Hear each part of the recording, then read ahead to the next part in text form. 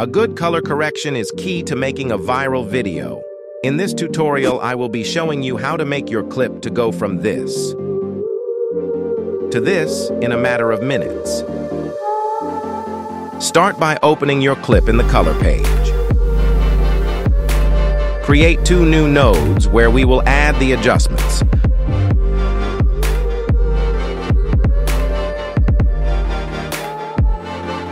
On the first node, we will adjust the color.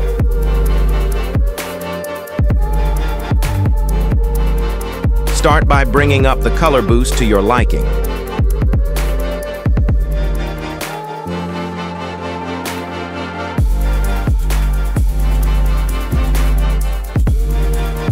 Then lower the shadows.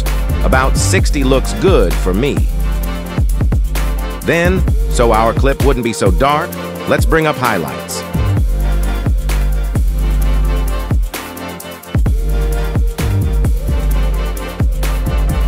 Already looks much better.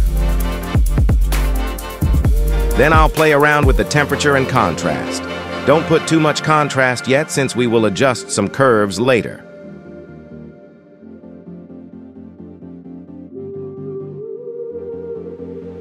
Now move on to the second node. Drag the curve down, like I do. This will make the shadows darker. Go towards the end of the curve and drag it up. It will increase the exposure.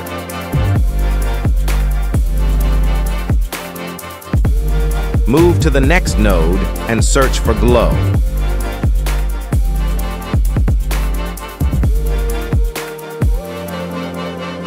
I'll change the gain so it doesn't look so bright.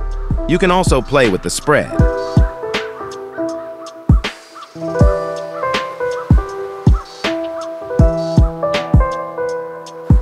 Now we are done with the coloring part, but as you can see it is still kinda blurry when you zoom in.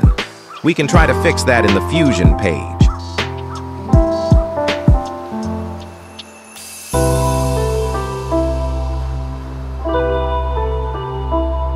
Find sharpen and reduce to amount somewhere between 0.1 and 1.